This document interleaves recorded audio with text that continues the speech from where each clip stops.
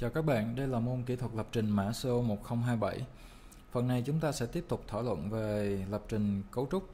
Thì thật ra các bạn đã gặp những cái code về lập trình cấu trúc ừ, khá là nhiều nên là phần này tôi chỉ tóm tắt cho các bạn một số cái ý. Cái ý đầu tiên là về định nghĩa của lập trình cấu trúc. Thì lập trình cấu trúc như các bạn thấy nó là một cái cách lập trình mà trong đó các bạn sẽ sử dụng lại những cái hàm con những cái uh, cấu trúc điều khiển khối như là if else rồi switch vân vân và những cái vòng lặp.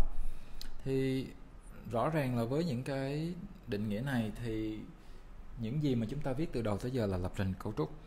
Những cái ngôn ngữ mà lập trình cấu trúc các bạn có thể gặp thì như cái list các bạn thấy ở đây có Argon, Pascal một cái tên khá nổi tiếng và các bạn có PLI, Ada và C hoặc là C cộng cộng thì các bạn lưu ý dùm tôi ở đây là C cộng cộng là một ngôn ngữ like có nghĩa là nó hỗ trợ cả lập trình cấu trúc và lập trình hướng đối tượng. Đó là lý do tại sao trong cái code mà các bạn nhìn từ đầu tới giờ là hoàn toàn kiểu cấu trúc. Nhưng mà đến cái phần sau chúng ta nói về hướng đối tượng, các bạn cũng viết giống giống như cấu trúc vẫn có hàm men ha?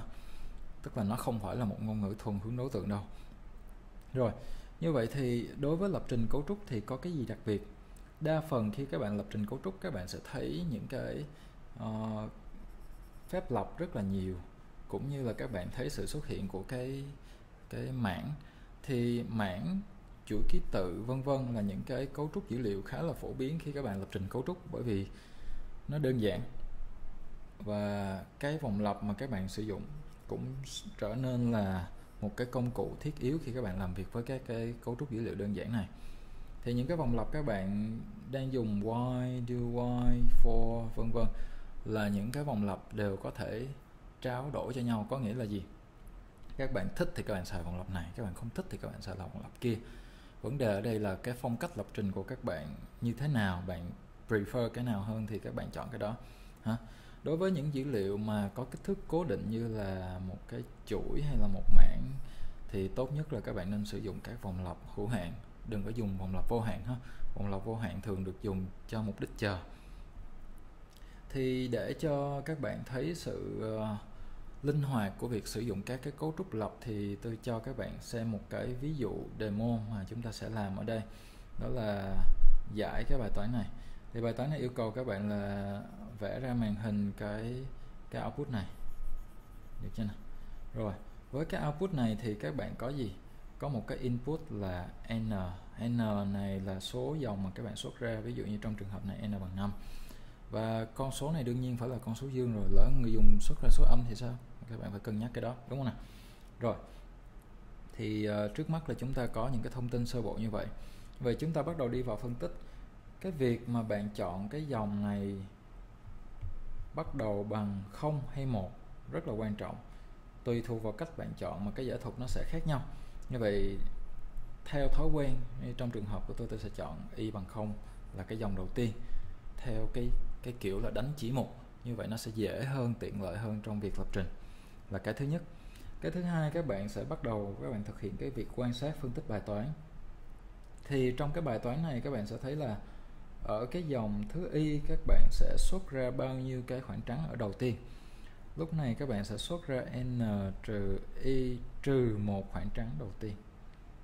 Đúng không? Các bạn có thể kiểm chứng lại, ví dụ như n của bạn bằng 5 thì cái dòng đầu tiên của bạn sẽ in ra là 1 2 3 4 khoảng trắng trước khi bạn in cái dấu sao đầu tiên. Đúng không? Như vậy chỗ này các bạn sẽ có n trừ y khoảng trắng. Và bao nhiêu cái dấu sao? Đương nhiên là các bạn in y cộng một cái dấu sao. Đúng nè. Cái ý tưởng khá là đơn giản.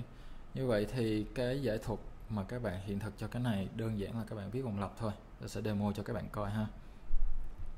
Thì đầu tiên chúng ta nói về cái code này thì tôi sẽ khai báo một cái biến. N là cái input cho các bạn. N này là số dòng. Được chưa nào? Như vậy thì tôi sẽ có cái nhu cầu là đọc cái cái, cái số dòng này cho cho người dùng đọc vào. Như vậy tôi sẽ xuất ra. Ok.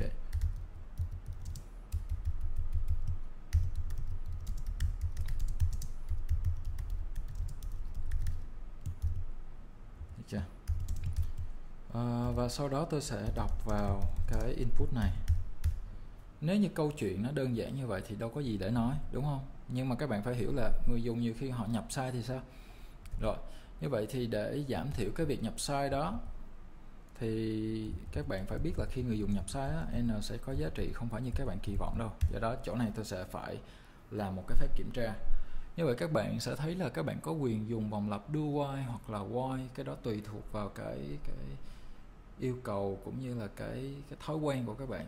Thì thí dụ như chỗ này tôi xài vòng while đi. Tôi sẽ viết như thế này. While n nhỏ hơn không? Tức là nếu như mà người dùng nhập vào một cái số n nhỏ hơn không, có nghĩa là không hợp lệ. Tại sao? Tại tôi yêu cầu anh nhập một số dương mà anh lại nhập một số nhỏ hơn không thì đâu có đúng đúng không nào? Như vậy, chỗ này tôi sẽ check cái điều kiện này. Nhưng mà cái code này nó có sơ hở ở chỗ là gì? Là các bạn chú ý, tôi nhắc đi nhắc lại là các bạn khởi trị rất là quan trọng. Như vậy, chỗ này khi bạn khai báo một cái biến mà bạn không khởi trị thì khả năng cao là các bạn sẽ tự tạo lỗi cho chương trình của mình lúc thực thi. Bởi vì cái giá trị lúc đó về nguyên tắc là không xác định. Thường các bạn mà viết trên Windows thì Visual Studio nó hay assign cho các bạn một cái giá trị mặc định là không. Và điều đó nó không có đúng nhé như vậy chỗ này tôi sẽ cho cái giá trị khởi đầu là trừ một, tức là một cái giá trị invalid. Như vậy vòng lặp này sẽ được thực hiện ít nhất là một lần và nó sẽ đọc vào cái con số cho đến khi bạn nhập đúng một số dương thì mọi chuyện nó sẽ không có vấn đề gì ha. Tuy nhiên cái code này vẫn còn một cái lỗ hổng tôi sẽ giải thích sau ha. Rồi bây giờ chúng ta đi vào giải thuật. Đi vào giải thuật thì các bạn sẽ cần một vòng lặp để in ra y dòng. À, xin lỗi n dòng. Như vậy tôi cần một cái biến lập y chạy từ không. Tại vì sao? Tại vì tôi muốn y là cái index của cái dòng đúng không? Và tôi có cái đoạn code như sau như vậy khi các bạn viết cái code này có nghĩa là bạn đang xử lý cái dòng thứ y. Lưu ý cái chỗ này tôi đang viết cho các bạn coi là tôi sử dụng cái biến cục bộ. Được không nào? Như vậy, theo phân tích hồi nãy giờ chúng ta có là chúng ta sẽ in ra n trừ y trừ một cái khoảng trắng, đúng không nào? Như vậy ta sẽ viết ra một cái đoạn lệnh này. For for gì đây? Tôi khai báo một cái biến lọc khác và tôi cho nó bắt đầu từ n trừ y trừ một j vẫn còn lớn hơn không thì tôi sẽ giảm j xuống. Và lúc này à, tôi viết một cách đơn giản ngắn gọn cho các bạn đỡ phải follow ha. Chỗ này tôi xuất ra khoảng trắng. Rồi vậy tiếp theo sau tôi sẽ làm gì? Tôi sẽ in tiếp một cái à, một chuỗi các cái dấu sao đúng không? Như vậy chỗ này tôi sẽ viết một cái vòng lặp for uh,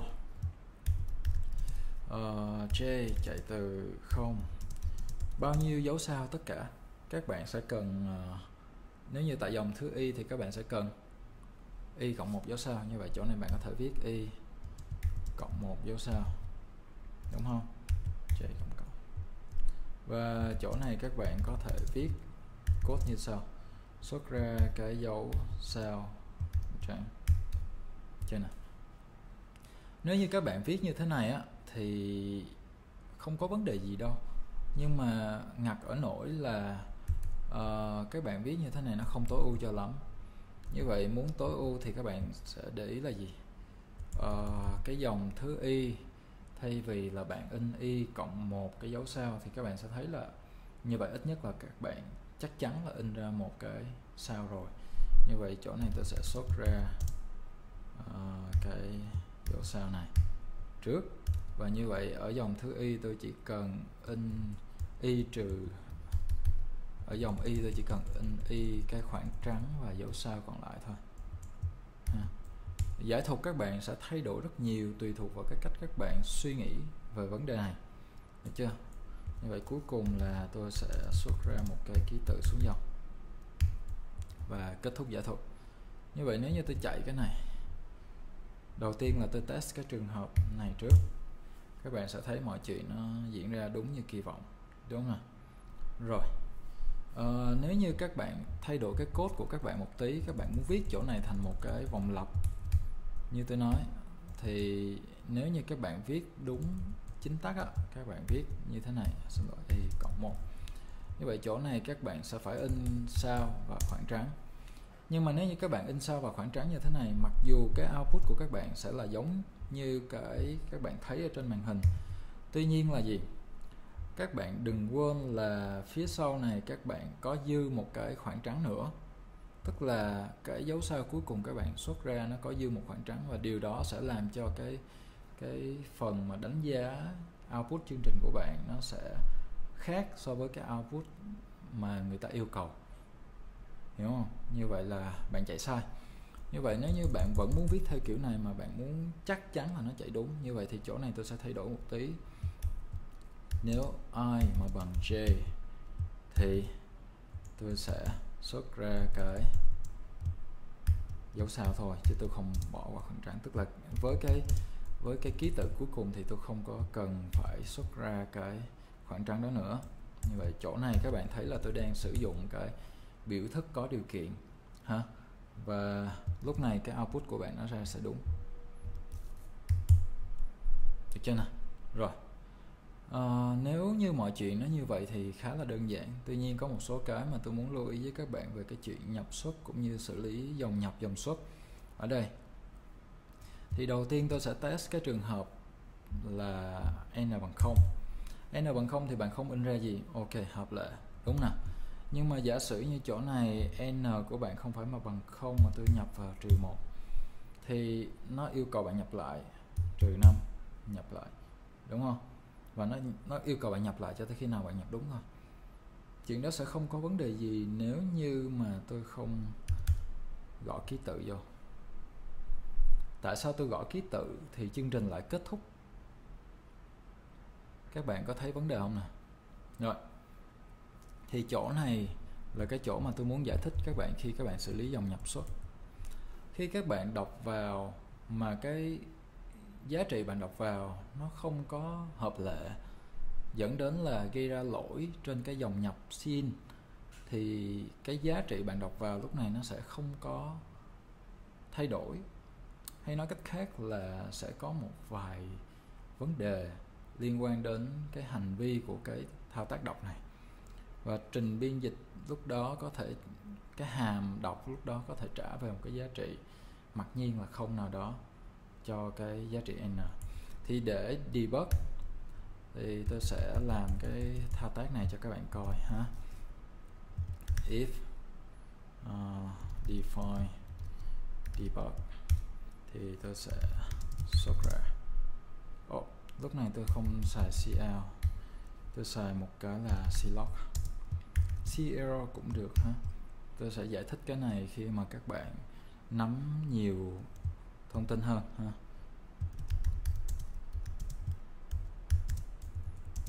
Chỗ này tôi muốn xuất ra n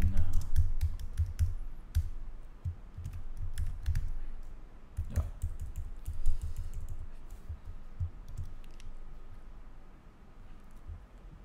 Ví dụ như chỗ này tôi nhập vào A. Oh, xin lỗi, tôi phải uh, chuyển cái chế độ.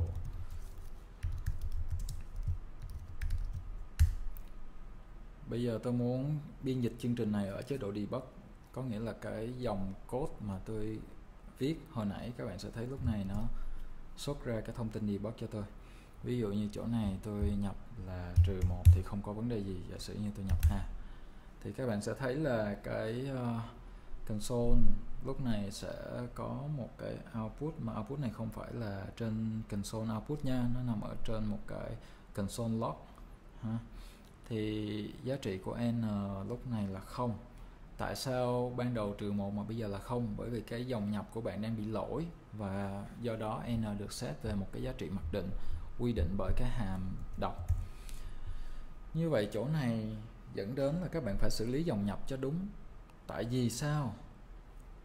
Dạ, để tôi cho các bạn thấy là tại vì sao nếu như tôi yêu cầu bạn nhập một số nguyên dương mà n không được bằng không, như vậy bạn chạy cái code này, bạn sẽ thấy bạn gặp vấn đề rắc rối rất là lớn luôn. Tôi nhập a, thì bạn sẽ rơi vào một cái vòng lặp vô tận. Các bạn không kết thúc được. Xin lỗi. Các bạn thấy cái output nó tùm lum không? Rất là dài nó cứ hỏi các bạn nhập nhập input nhập input nhập input hoài. Nó không có kết thúc được. Lý do mà không kết thúc được là tại sao? Tại vì dòng nhập của bạn đang bị lỗi. Nha. Cho nên là cái vòng while này của các bạn nè nó sẽ lặp đi lặp lại hoài. Vậy chỗ này khi các bạn muốn xử lý input output mà cho chính xác đó, thì các bạn phải có những cái thao tác đặc biệt. Ví dụ chỗ này tôi sẽ xem if sin tôi sẽ check good good bit. Tức là nếu như bạn nhập vào mọi thứ ok, thì không có gì. Nhưng mà nếu như cái good bit này không được bật, có nghĩa là gì? Bạn nhập có cái gì đó sai, có cái gì đó không ổn. Như vậy tôi sẽ phải làm một cái động tác là xóa cái cờ trên cin, được chưa? Như vậy lúc này tôi gọi clear khi bạn gọi cái cờ clear thì nó sẽ xóa cái uh, xóa cái cái cờ kia và nó để cái good về một. Như vậy có nghĩa là cái dòng nhập của bạn sẽ sẵn sàng để đọc cái cái cái cái input tiếp theo. Như vậy tôi sẽ cho các bạn coi cái uh, code này khi mà nó thực thi như thế nào. Uh, nếu như tôi nhập trừ một thì không có vấn đề gì đúng không? Tôi nhập a. Thì chuyện gì xảy ra? Ồ, các bạn vẫn gặp cái vòng lặp vô tận, tại sao vậy? Tại vì vòng lặp này là vòng lặp vô tận. Vì sao? Khi bạn gọi clear, nó xóa cái cờ, nhưng mà trong cái dòng nhập của bạn vẫn còn cái ký tự A đó. Do đó khi nó quay trở lại, nó đọc từ dòng nhập, thì các bạn vẫn còn cái ký tự A đó và dòng nhập lại bị lỗi tiếp. Được chưa? Như vậy chỗ này các bạn muốn giải quyết nó thì các bạn không chỉ đơn giản là các bạn xóa cái cờ, cái hàm, cái phương thức clear này nó chỉ giúp cho các bạn xóa cờ thôi. Còn các bạn mà muốn cái dòng nhập mà được làm sạch luôn á, thì các bạn phải gọi một cái phương thức khác là phương thức ignore. Thì phương thức ignore này nó sẽ yêu cầu các bạn nhập vào một số cái đối số cơ bản. Ví dụ, các bạn gọi ignore không thì cái tham số mặc định đầu tiên của nó là bằng một tức là nó sẽ ignore một cái uh, ký tự từ dòng nhập. Nhưng mà nếu như các bạn uh, muốn nhiều hơn thì sao? Ok. Như vậy thì chỗ này tôi sẽ ignore giả sử tôi cho một con số rất là lớn đi. 1024 ký tự. Và lúc này cái ký tự mà dừng của tôi là ký tự xuống dòng. Rồi. Tôi sẽ ignore mọi thứ cho tới khi tôi thấy ký tự xuống dòng thôi. Như vậy lúc này là tôi sẽ bỏ hết tất cả những cái ký tự trong dòng nhập và các bạn sẽ thấy mọi thứ nó sẽ khác. Lúc này nếu như tôi nhập trừ một không có vấn đề gì, đúng không? Tôi nhập a, thì các bạn sẽ thấy là, ok, lúc này lỗi của chúng ta đã được fix rồi. Nó sẵn yêu cầu bạn nhập tiếp. Ví dụ như tôi nhập abcd nó vẫn yêu cầu bạn nhập tiếp. Ví dụ như tôi nhập abc 1213 chẳng hạn, cũng là sai, đúng không nào? Rồi, như vậy nếu như mà tôi nhập a 5 thì nó vẫn ignore mọi thứ cho tới ký tự xuống dòng đúng không? Như vậy cái ký tự mà nó sẽ ignore ở đây á, phụ thuộc vào cái cái giá trị mà các bạn nhập ở cái ờ, cuối cùng nhớ cái đó ha. Rồi như vậy cái code của chúng ta có vẻ là ổn. Và tôi sẽ xóa cái debug này đi để cho cái code của chúng ta chạy ở mode bình thường. Các bạn sẽ thấy à, ok. Rồi đó là cơ bản về xử lý nhập xuất cũng như là cái vấn đề về dùng vòng lọc. Tại sao tôi không giới thiệu với các bạn cái cách xử lý nhập xuất sớm? Tại vì các bạn phải học vòng lặp trước các bạn mới biết được cách xử lý này cho nó thỏa đáng nha. Rồi uh, chúng ta có một cái vấn đề một cái bài toán khác mà các bạn có thể gặp. Um, ví dụ như trong à, xin lỗi để tôi quay trở lại cái bài toán này để tôi cho các bạn coi cái cách tối ưu code. Thực ra thì cái code này nó còn có thể tối ưu được ngoại trừ cái đoạn nhập xuất kia ha. Thì tối ưu bằng cách nào? Để tôi cho các bạn xem.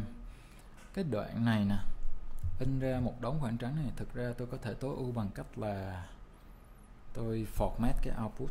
Tại vì tôi biết chắc chắn là tôi phải in ít nhất là một cái dấu sao, đúng không?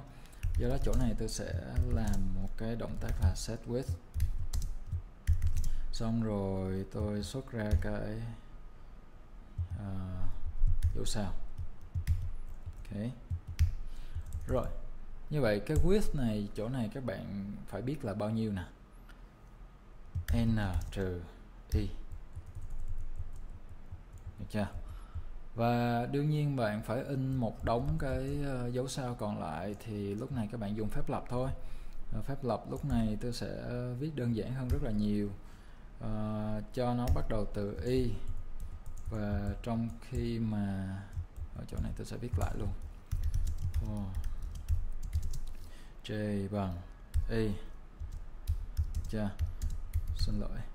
J vẫn còn lớn hơn không? Thì j giảm xuống. Tôi sẽ xuất ra khoảng trắng và dấu sao. Và cuối cùng là tôi xuống dòng như vậy thì cái code này sẽ cho bạn ra cái output giống y chang như cái output mà các bạn có ban đầu. Thí dụ chỗ này tôi nhập 7 đi 8 đi. Ha. Và các bạn cũng lưu ý ở đây là tôi không có dư bất kỳ khoảng trắng nào ở phía sau. Mọi thứ đúng như kỳ vọng và cái các bạn in ra cũng là đúng như cái các bạn mong muốn. Ha. Rồi. Như vậy thì cái việc mà viết code sao cho hiệu quả tối ưu. Cái đó cũng là một cái mà các bạn cần phải tập trong cái quá trình các bạn uh, lập trình code mà không có gì tốt hơn bằng việc là các bạn phải tập code nhiều practice ở nhà ha. Rồi. À, với cái bài toán thứ hai này thì tôi nghĩ là cũng không khó lắm đối với các bạn tại vì uh, nó cũng giống như cái bài toán in ra cái tam giác hồi nãy thôi. Nhưng mà lúc này là các bạn có cái uh, input của các bạn là cái hình m này. Ha. Như vậy tùy cái cái cách các bạn nhìn mà cái bài toán này sẽ cho ra những cái lời giải rất là khác nhau. Được không nào? Rồi uh, tôi sẽ để cái phần này cho các bạn như là bài tập về nhà và chúng ta sẽ sửa trên lớp khi các bạn lên lớp vậy nha.